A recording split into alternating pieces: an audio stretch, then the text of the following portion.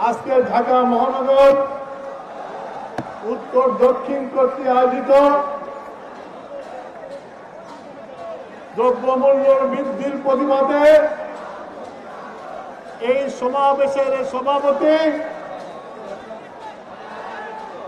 মুক্তিযুদ্ধের সহযোদ্ধা ঢাকা মহানগরী দক্ষিণের আহ্বায়ক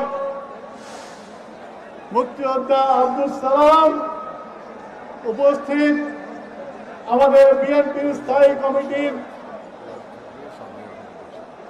সিনিয়র সদস্য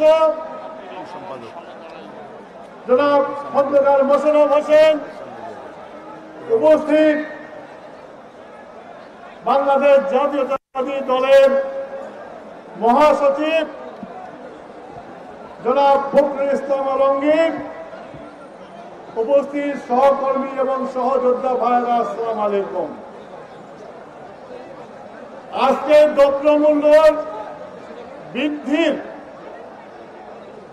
প্রতিবাদের এই সভায় বক্তৃতা দিতে উঠে আমার মনে পড়ছে আব্দুল হামিদ খান মৌলানার ভাসানির একটি বক্তব্য। মৌলানা ভাসানি বলেছিলেন মুলায়ম খানকে উদ্দেশ্য করে। মুলায়ম খান, তুমি চালে আগুন লাগিয়েছ, তুমি তেলে আগুন লাগিয়েছ, তুমি পানিতে আগুন লাগিয়েছ।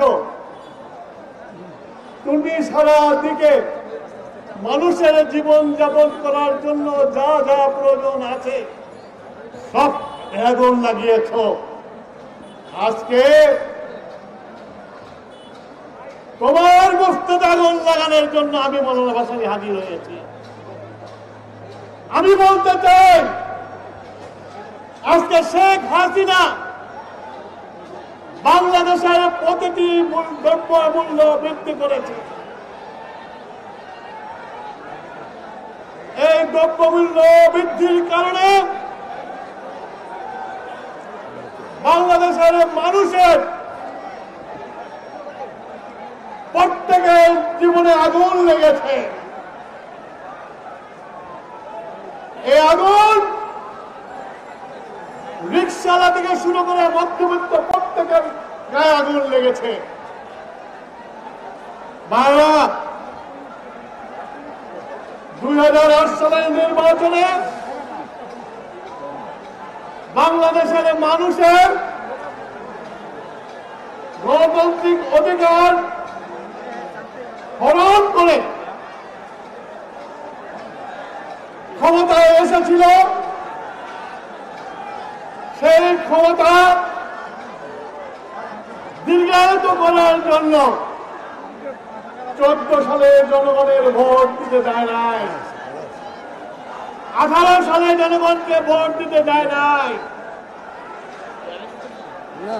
এখন দুই হাজার চব্বিশ সালে আবার জনগণের ভোট কেড়ে নেওয়ার জন্য যাদের উপরে ভর করে ক্ষমতায় বসে আছে। তাদের মোটা বেতন, তাদেরকে গাড়ি বাড়ি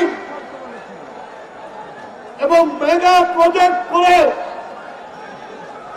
মানুষের উপরে ট্যাক্সের বোঝা বাড়িয়ে দিচ্ছে। প্রতিটি জিনিসে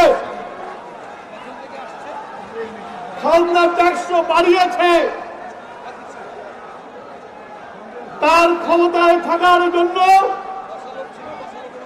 ওই সচিবালয়ের বিভিন্ন স্থানের